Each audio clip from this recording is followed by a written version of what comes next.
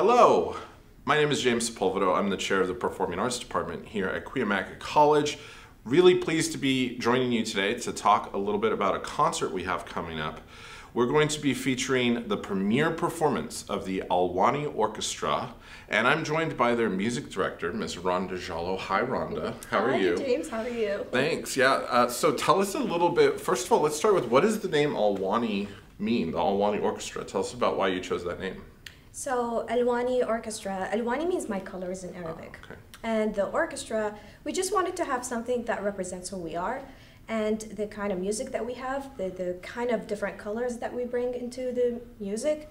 So, I just thought Alwani would be the perfect name. That sounds like a great name. Yeah, and I think some of the songs you're you're playing on the concert are sort of from different countries in the Middle East, right? Is that kind of the idea of the Alwani Orchestra? Tell us about a little bit of the music you're going to be playing. So um, we have a variety of music of like starting from the very old folk songs to like a very modern um, orchestration.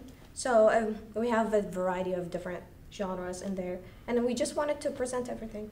That's great. What ki- what countries are these songs from? So we have pieces from um, Palestine, Iraq, um, Armenia, Egypt, um, Iran, and many more. Very cool. That's very cool. What kind of I've never really seen a Middle East orchestra. What kind of instruments do we have in a Middle Eastern orchestra? So it's very similar to our modern orchestra. So we have the string section. We actually have a smaller string section because we have other instruments that kind of substitute the sound. So we have um, we have regular guitars, we have oud, we have qanun, and we have ney, and that would substitute things like the flute. Very So- cool. Plus the percussion. That's very cool. It sounds like it's going to be a cool concert. It'll I'm be a great excited. concert. Thank you for joining us. Will you teach me how to say, I look forward to seeing you there in Arabic? And I'll say it really poorly, I'm sure, but I'll try. You can just say "see you at the concert." Oh, okay. See you at the concert. Thank you. See you soon.